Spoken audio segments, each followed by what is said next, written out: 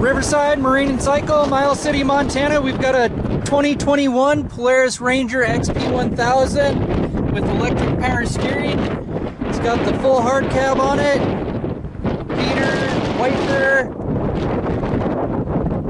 10 ply tires.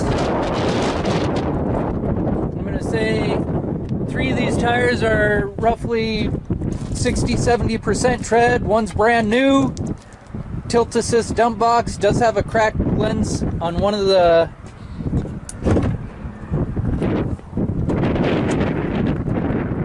uh, tilt assist dump box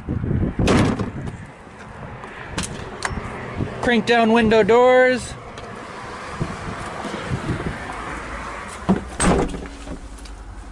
Has a horn. This machine's got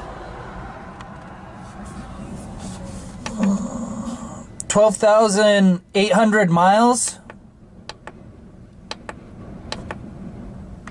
2,500 or 2 2,057 hours. We're going to take another video of this getting started up, drove around. If you've got any questions, you can always call us at the dealership. 406 232 3300.